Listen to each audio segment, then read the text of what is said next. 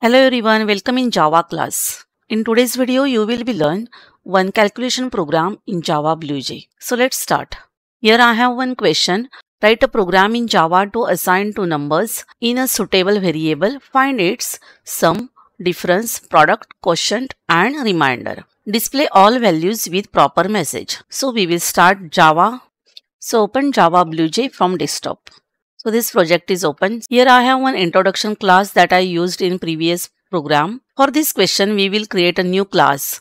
So click on new class. Type here name calculation. So class name is calculation. Click on OK. To write code inside the class, double click on class window.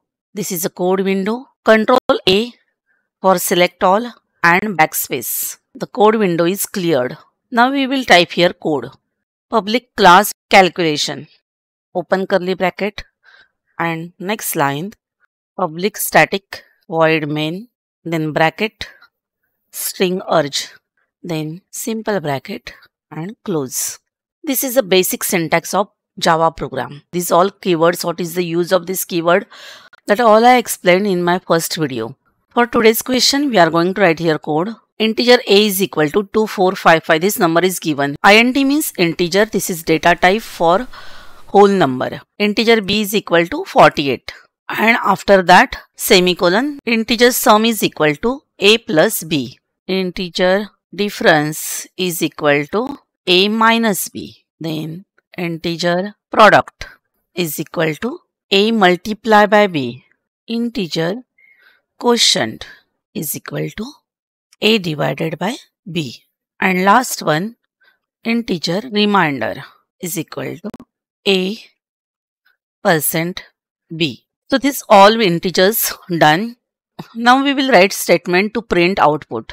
System.out.println first number is equal to plus a. This sentence, green color sentence will display as output and plus a is value of integer a. This plus sign is for holding the value of this variable. Similarly, we have to write next line also. For that, copy this same sentence and paste it down and do the changes. Second number is equal to plus b. Then sum of the number is equal to, so here we have to write plus sum because integer sum is equal to a plus b. So it will display sum of the number is equal to plus sum. For next sentence we will copy this one and paste it down. Difference of the number is equal to plus di double f that variable name is diff. And next one here product. Product of the number is equal to pro. Variable name is pro. Quotient.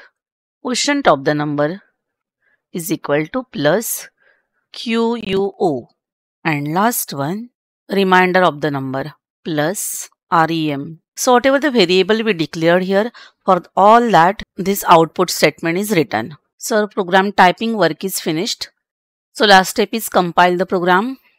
Class compiled, no syntax error. How to run the program?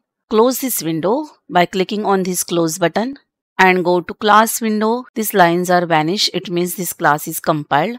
Now to run the class, right click on it and click on void main. OK.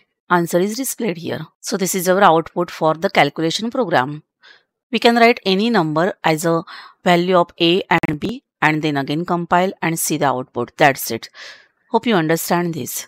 If you have any query about this program or any Java program, then you can ask me in comment. I will be very happy to answer you. Thanks a lot for watching this video till end. So like, share and subscribe.